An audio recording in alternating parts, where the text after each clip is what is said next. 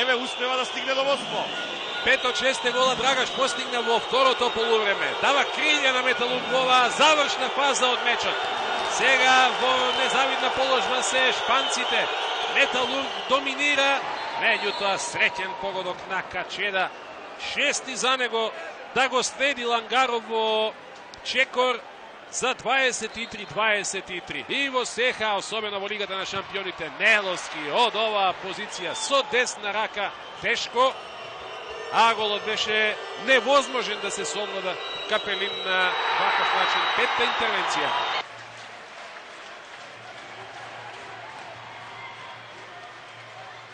Обрадовиќ. Медување на местото на Талевски Драгаш. Од 10 метри Драгаш бомбардира од сите позиции. Седми негов погодок. Металург води 24 спрема 23. Последни две минути од надпреварот.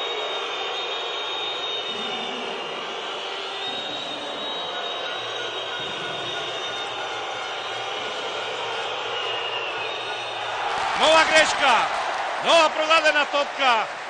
Еве сега, ова е победничка можност за Металург. Сега рецептот е јасен. Бавна, долга акција, да се создаде изработена позиција. Ако треба да се побара тајм-аут уште во овој напад, за сето тоа да биде осмислено, до максимум совршено. И па макар Драгаш бил тој што ви реализирали во она што предстои. Прекин за да биде избришан теренот. Меѓусебен договор на играчите на Металург.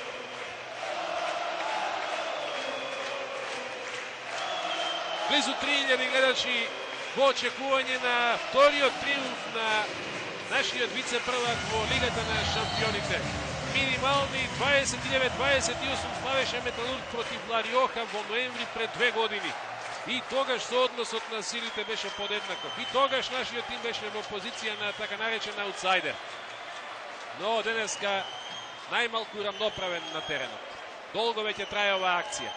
Поаѓа Обрадовиќ за Драгаш, пробивање, неверојатно.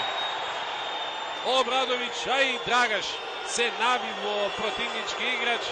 И сега завршни 60 минут, 60 секунди на драма во кој што Металург влегува со минимална предност, меѓутоа Лариоха е во акција. Сега спасот е може би во Дарко Арсич. Посебната магија која што ја дава Металург на нашиот клубски ракомет. 40 секунди до крајот. Качеда за Монторо. Пие Ландаро, брани Арсич, топка за Металург. Еве го Арсич на помош, еве го Арсич со неговата 15-та интервенција го носи нашиот клуб на чекор до победа. Последни 30 секунди. Се има во своји раце Металург. Има гол разлика, има топка, времето тече. Еве сега Пешевски. Додавање за Обрадовиќ, нема ништо, неверојатно е што промашуваат нашите. А Арсич е чуварот на победата на Металург. Волшебникот Дарко Арсич. Каква драма во преградка ракометарите на Металург. Синоќ ако имаше драма на дуелот меѓу Вардар и Ференц Варош, ова кулминира со една поинаква драма во која што сепак победнички се кренати рацете на Металург.